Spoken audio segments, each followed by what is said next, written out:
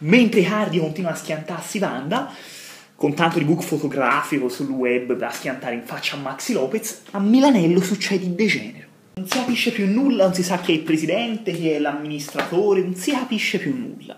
Ora più che una sede di una squadra calcistica pare diventa, non so, la sede di gossip mondiale. E va via, e resta, e si rimette, non si rimette. Non si capisce se lo zio Fester vuole rimanere o no. Cioè, dal canto suo è ovvio sarebbe rimasto. Però arriva Barbarina, eh? la figlia prediletta, che si mette a fare critiche. Poverino lo zio Fester, alla fine cioè, non è che aveva fatto un brutto lavoro. Eh? E quindi ha deciso io me ne vo perché essere preso per il culo dalla Barbara, sinceramente, non sarei contento neanche io. Pensa lui che ha 90 anni. E come nelle più belle favole, chi arriva a salvare Adrianuccio Caro? Il cavaliere. Arriva Silvio e decide che non si deve rimettere Adriano Galliani, ma che deve continuare con lui questa, questo cammino, no? Ma perché gliel'ha detto? Ha scoperto che ha 50 milioni di buona uscita, e avrei detto anch'io rimani, tu vedrai.